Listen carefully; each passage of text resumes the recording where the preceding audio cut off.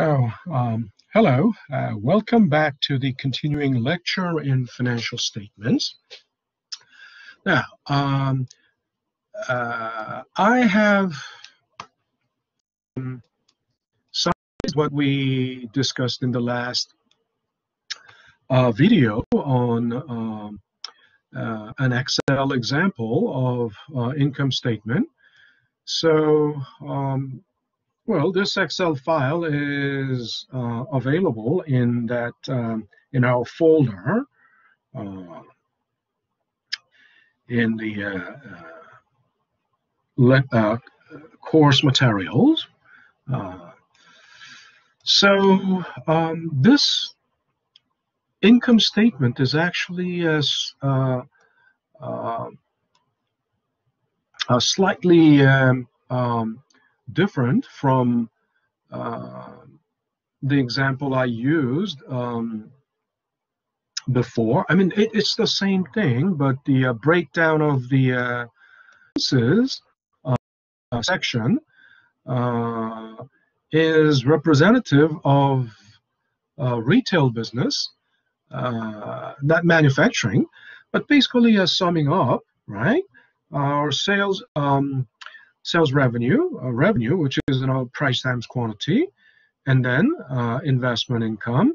Uh, those are two major sources of income, and expenses are broken down into uh, two major categories: CGS, which is directly related to production, okay, and operating expenses or OPEX, which is you know uh, uh, not unrelated, but you know, indirectly related to production. But I, I said uh, uh, unrelated uh, here to make a contrast, right? To contrast, to make a contrast between directly related to production um, uh, and indirectly uh, related to production. So um, it's not that difficult to um, uh, follow so far because you know we understand what CGS is and which is also equal to uh, total variable cost. And the total variable cost is average variable cost times quantity. And also the average variable cost another name for that is uh, production cost per unit. Right production. Uh, I will just abbreviate as prod.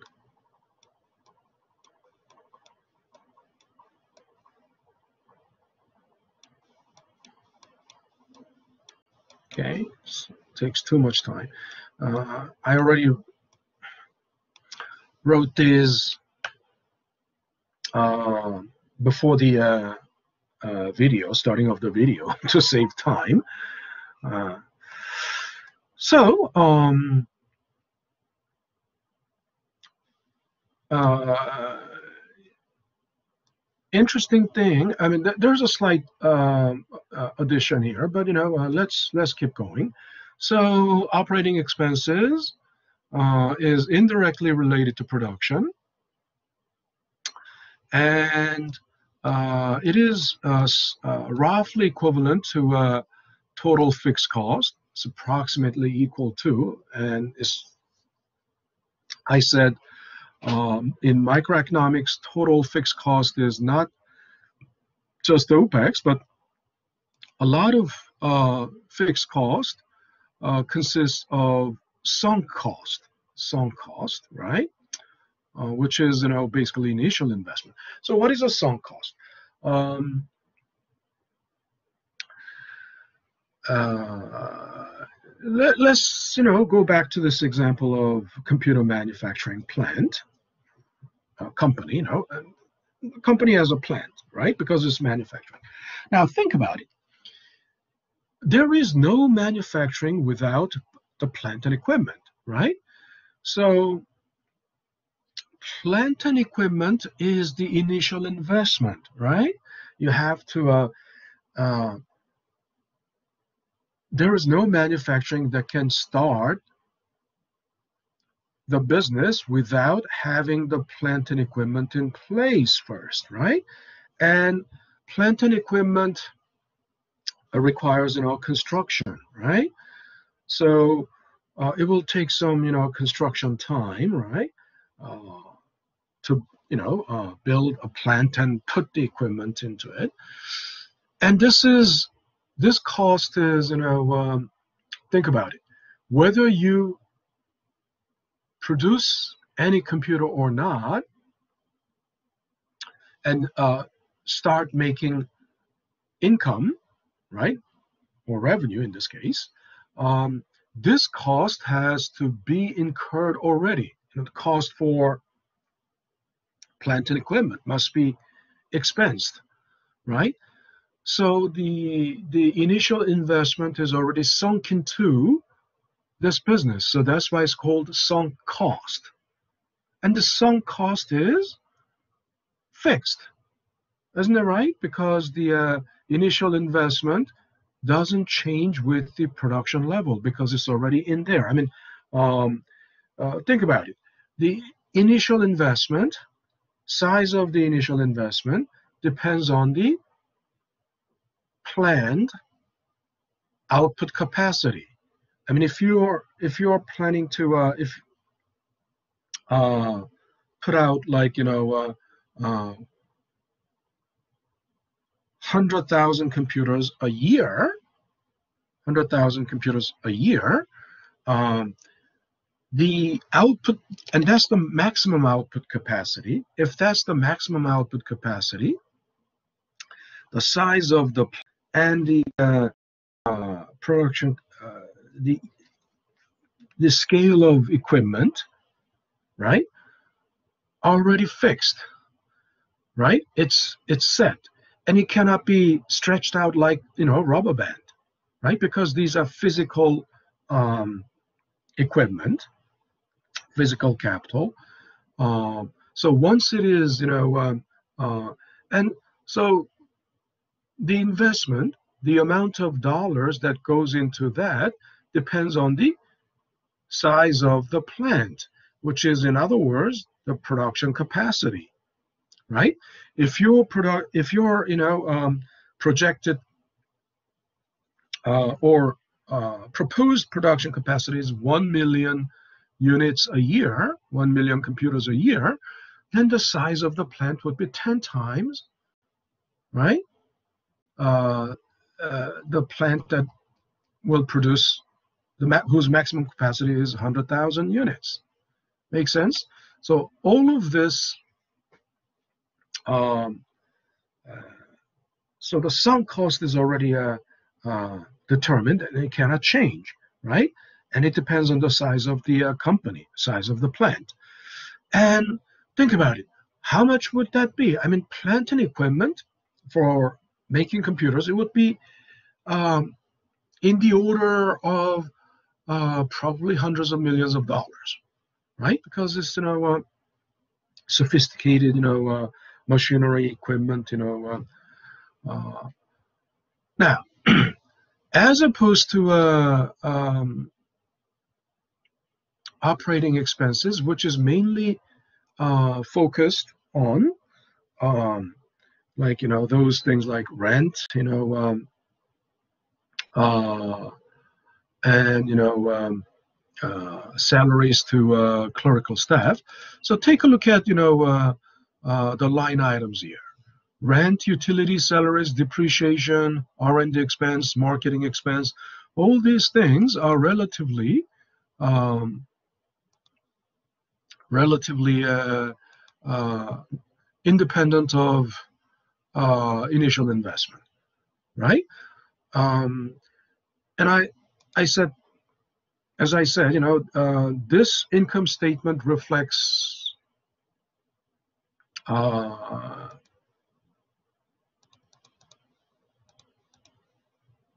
okay, it reflects the um, uh, retail business rather than manufacturing. It reflects more, you know. Uh, uh So it doesn't have anything that is, think about it, retail doesn't have plant and equipment. So, um, uh, size of the operating expenses would be much smaller than uh, the operating expenses of the uh, manufacturing manufacturer. And in case of manufacturer, of course, the sunk cost will be spread over, right? It will be spread over many multiple uh, operating periods, right? In other words, you know, uh, uh, multiple quarters, you know, not just multiple. Uh, multiple in this case, you know, means could mean, you know, uh, you know, 48 quarters or, you know, whatever. But 48 quarters will be like, you know, um, uh, 12 years, right? Um, so that's the that's the difference between the uh, manufacturing's, you know, uh, uh, operating expenses and uh, retail's operating expenses. now, um, and so if we subtract from revenue, and we assumed it's actually income, but you know we assumed that the um, we simply assumed uh, that the investment income in this case is zero.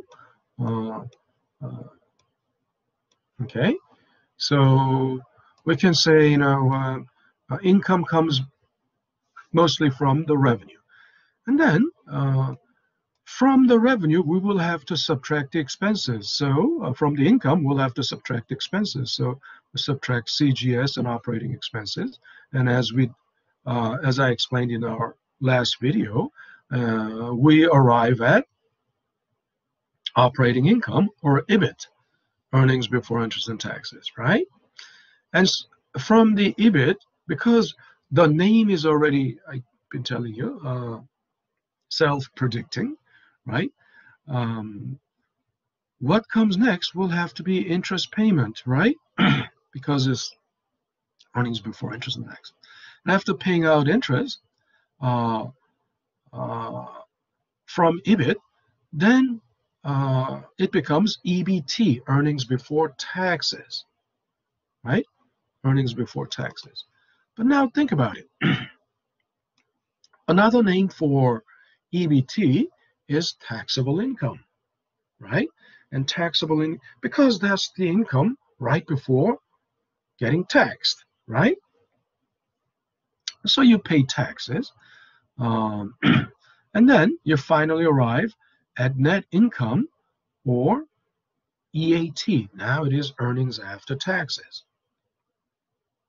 Okay, uh, so net income is also called net profit Finally, we are free to use the term profit.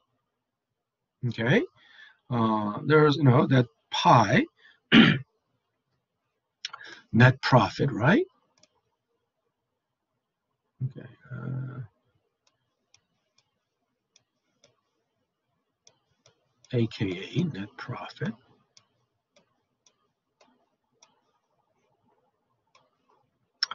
Now, uh, here's Another thing we need to, uh, a couple of more things we need to look into. Um, so the operating expenses, I mean operating income or EBIT is the um, uh, the uh, primary indicator of the profitability of a farm, right? But in accounting, they use something, they also uh, have a term called gross profit. Now, gross profit is actually, I don't like gross profit because it can be misleading. Why? Gross profit is nothing but revenue minus CGS. Okay? But you can understand this is incomplete because CGS is only one uh, uh, one aspect or one element uh, in expenses, right? Uh, to make it complete, you have to subtract both CGS and OPEX. Make sense? So then, you know, uh, EBIT is the true measure, first, first measure of profitability. Of course, the final measure of profitability is the uh, net profit because uh, you can't, uh, before you pay taxes, you know, this is not all yours. And before you pay it out, pay out interest, uh, uh, it's not all yours, right? so the idea is, you know, um, uh, gross profit is not a, uh, a, correct measure. It's just a uh, very rudimentary, very, you know, um, uh, inaccurate measure, right? Uh, the reason I'm saying this is misleading is think about it. if someone's telling you, uh, and this person is trying to sell his business to you, or you know, is trying to sell his shares in this company to you, and is telling you, well, look at the gross profit. This company has, you know, uh, wonderful uh, gross profit. And let's say the gross profit is really good. Huh? Uh, let's take this example. Um, I mean, you know, uh, I'm not going to use these numbers, actual numbers here. Uh, so let's say the gross profit is something like, you know, uh, uh $1 million. So you think this is a, right, a profitable company. But anybody with basic understanding of financial accounting would understand. Um, but that's only the direct cost. I mean, after subtracting the direct cost, what about the indirect cost? What if the OPEX was, you know, uh, uh, $900,000 or $990,000 or $999,000? Although then, what's the operating income then, or EBIT? Huh? It will be only $1,000 if, right? If operating expenses are uh, uh, huge. I mean, oh, uh, of course, in case of manufacturing, direct cost would be uh, significant, right? And relatively, you know, uh, relative to uh, CGS, the direct cost, indirect cost would be relatively uh, smaller. Uh, but you know, you can't completely ignore the possibility where um, direct cost is uh, small and operating expenses are huge. And in that case, you know, just using gross profit as uh, a measure of initial measure of profit uh, can be misleading, uh, grossly misleading misleading, grossly. Now, so uh, next thing is, uh, let's think about the interest. Of course, interest is, um, it's the payment to creditors, isn't that right? We have, we pay interest because we borrowed money. So this is the payment to creditors. And then taxes are payment to government, payment to government. Okay, um, smart people uh, quickly understand what these, you know, uh, uh, acronyms mean, right? Uh, you don't have to spell out everything. Spelling out everything is elementary school, right? If you're in elementary school, you have to spell out P A Y M E N T. Otherwise, you don't understand right? But mature people make that connection quickly. Oh, what would that be? What else can it mean? Payment in this context, right? Um, I'm, I'm saying this because, you know, lots of times, you know, uh, uh, students ask, you know, professor, is there a, uh, a list for, you know, um, those, you know, symbols and acronyms? uh, no. I mean, you know, some textbooks provide uh, the list of you know uh, acronyms and symbols, but you know that those symbols and acronyms uh, slightly vary from one textbook author to another. I mean, they can slightly use. so interesting thing is uh, uh, these terminologies vary slightly as well. Why? Um, for example, uh, let me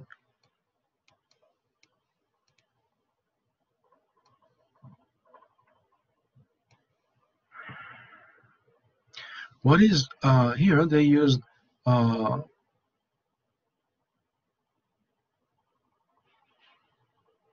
NOPAT. What is NOPAT? It's actually uh, net operating profit after taxes. Net operating profit after taxes.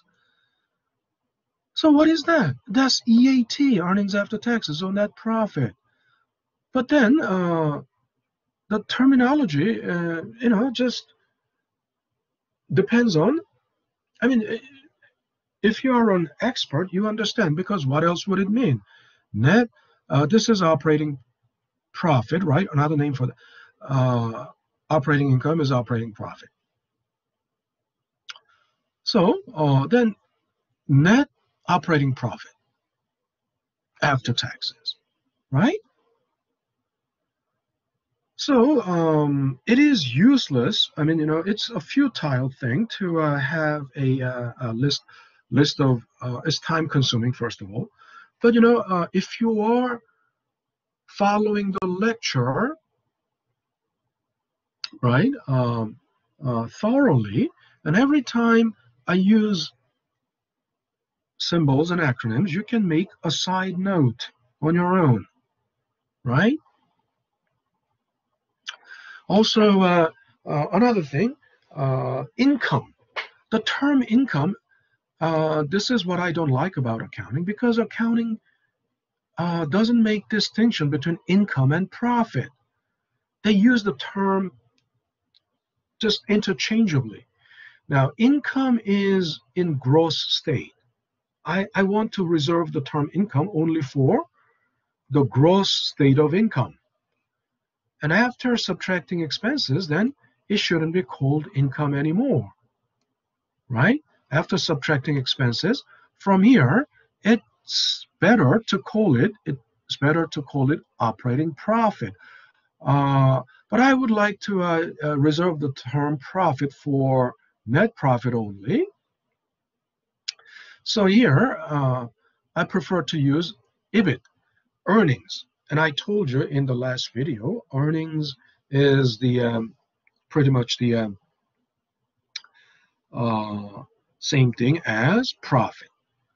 And then uh, uh, calling this net income is still I feel very uncomfortable calling this income because income should be reserved for gross income, right? So here, uh, the better term is net profit. Okay. So, um, or EAT, earnings after taxes, and this is this is a kind of pun. It's you know what pun is, right? I don't want to write this only in English language, right? Only in English language. Um, this is possible and it makes sense only in English language. Now, I told you, uh, EBIT, operating income, uh, you cannot touch it yet, right? Because you haven't paid interest and taxes. But once you have paid interest and taxes, I mean, you cannot touch what goes to the government? The government's cut, right? If you touch uh, the government's cut, if you then uh, you will be in trouble, right? So you cannot touch it. But after uh, paying out interest and taxes, then you can touch it, right? Not just you can not only touch it, you cannot just touch it, you can eat it. Eat what? eat the pie. You can eat the pie. right? You can eat the pie. That's why uh, EAT and profit really pi uh, make such a uh, perfect perfect sense or jive so well only in English language. Why? Because in other languages, uh, would it? I can't imagine, right? In French, uh, uh, they wouldn't. The term will be still uh, profit. Profit is you know uh, profit for or uh. Um, yeah, um, uh, or something like that. Uh, but you know, it, can there be acronyms like this EAT? You know, because you know, uh, and even if uh, uh, there's an acronym like that, you know, uh, uh, French for uh, to eat is manger. so it cannot happen, you know, um, only in English language. Now, another interesting thing, another thing is, so we have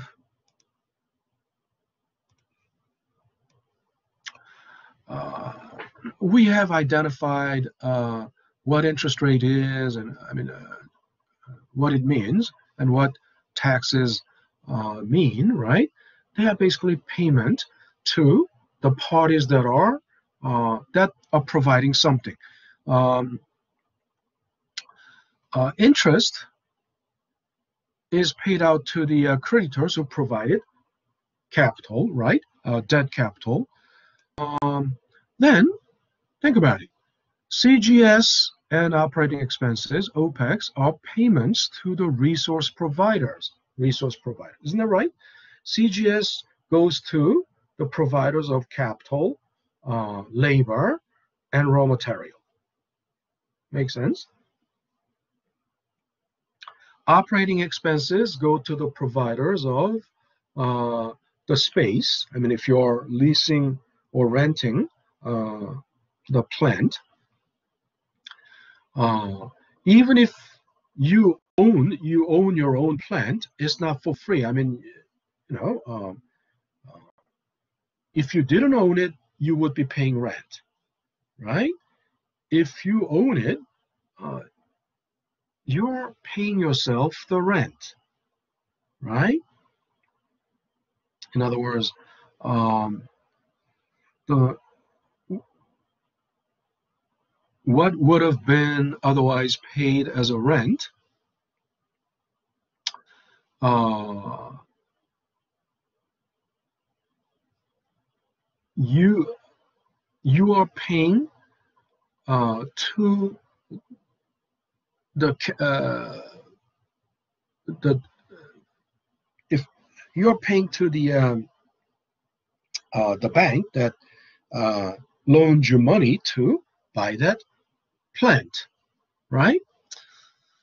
So, um, and also there's an opportunity cost. I mean, if, even if the uh, uh, the plant's plant space is paid off, right? Uh, still, um, uh, the plant space better pay. Uh, the plant space better uh, be used well to the productive uh, activities so that uh, if it is not used for uh, supporting your production, it better be rented out, then you can at least earn rental income from it, right? That's called opportunity cost, but you know, uh, in accounting, they don't uh, uh, recognize, they don't understand. I mean, it's not that they don't understand, but they don't recognize opportunity cost. But in economics, they uh, opportunity cost is a very significant uh, part. So think about it. so these are the uh, payments to the resource providers. This is the payment. Interest is the uh, payment to the creditors. And what did taxes? What did the government provide? Well, the government provided a lot of things, infrastructure like roads, uh, uh, water, elect, uh, you know, um, electricity. Uh, in, in some countries, uh, you know, uh, electricity is public. the government. in the U.S., public utility is a still private company, but in in most other countries, you know, utility is run by the government, by the state, and you know, public education policing, right? Uh, national defense. I mean, think about it. Without policing, national defense, and infrastructure, uh, and public education for, uh, if you uh, suppose you know they are all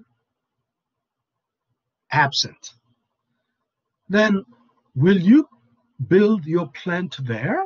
There's no policing. Uh, there can be bandits, you know, uh, burglars and bandits and